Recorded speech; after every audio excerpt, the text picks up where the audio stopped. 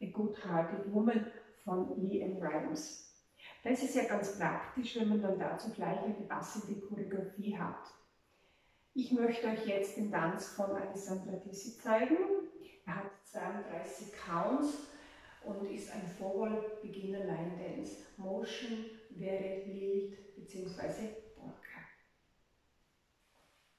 Wir beginnen mit rechts, Sektion 1. Scuff, out, out, heel, bounce. Sailor, step, sailor, step.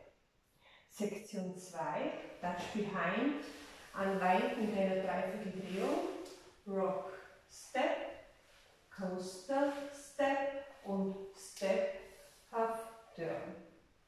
Sektion 3, Triple Step in die Diagonale, Vierteldrehung nach links, Triple Step in die Diagonale, Cross, Back, Chassé, Side. Dann Sektion 4, Rock Across und Vierteldrehung, Triple Step, Step Half Turn, Step Quarter Turn. Gezählt. 1 und 2, 3, 4, 5 und 6, 7 und 8.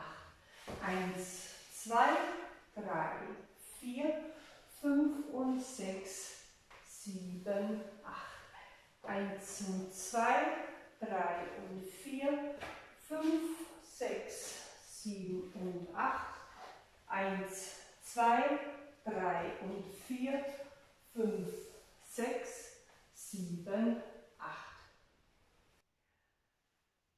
Der Tanz hat weder Brücken noch Restarts, also der ideale Partytanz.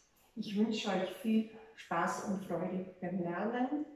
Tschüss und Servus aus Kufstein.